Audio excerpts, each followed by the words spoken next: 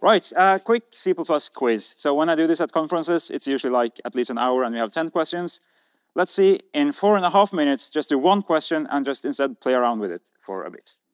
So to make sure that you're paying attention, I brought five, uh, four vouchers for a free copy, an ebook copy of my book. So anyone who comes up uh, after and said they tried, the first four ones will get a free ebook.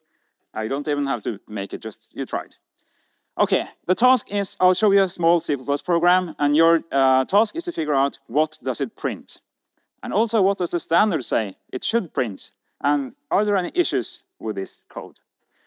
And the code in question uh, is this one. I haven't, oh, can you zoom this somehow? Uh, okay, can you see anything here? Do you know how to, do you know how to zoom your browser? Not on my laptop. Uh, the what? The A on the left, okay. Okay, now we're gonna be in a hurry. Okay, I haven't added the final curly just to make it not run uh, yet. But what's the output? What does the standard say the output should be? And are there any issues? And don't shout out the answer just yet. I'll give you 30 seconds to uh, figure it out.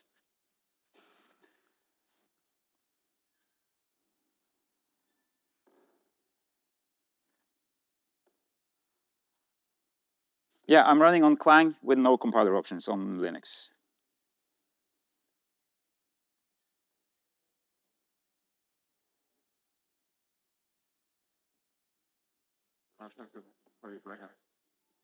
Hmm? it does.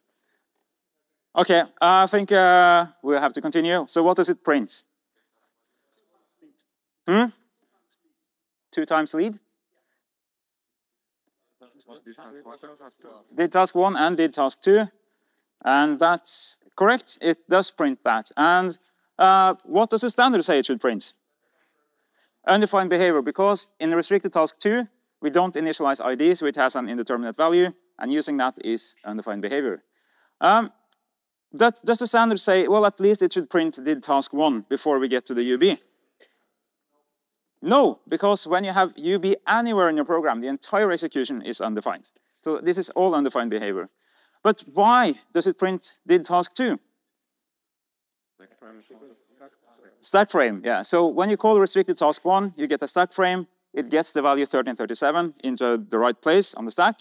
It goes off the stack. You call the next function, and 1337 is still there on the stack in exactly the same place, and it has like the same number of parameters and what, whatnot. So it's still there. Um, yeah. And now to the useful part. So how do you avoid this? How do you um, ensure that you catch bugs like this?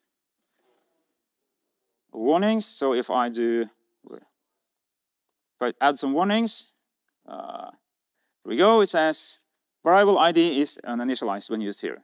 So that's nice. But it's easy for the compiler since it's just right in here. What if I got ID through a pointer or a reference to somewhere else that the compiler can't see? Now how do I avoid this? Memory sanitizer is uh, correct, so that's there's a sanitizer called memory sanitizer. If you run this program with mem memory sanitizer, it's going to tell you exactly what you did wrong. Uh, right, so just let's play around with it for a bit. What happens if I do static here and I'll press space in a minute?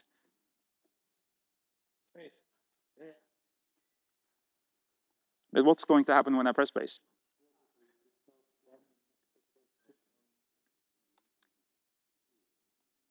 It only prints did task one and not did task two. So we have fixed the issue, have we? Or what, what, what's changed? Yeah, so now the new ID here is not on the stack. It's a static storage duration thing. It's off in global memory somewhere.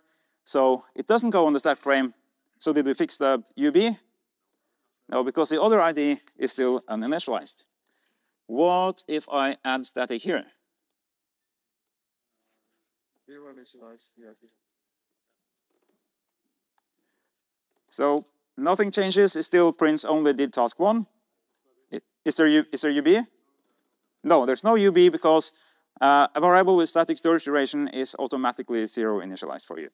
So as the program starts, it will be, uh, actually just will, the memory page is just zeros. So anyway, it's, the standard guarantee is, is, is zero initialized, so there is no more UB.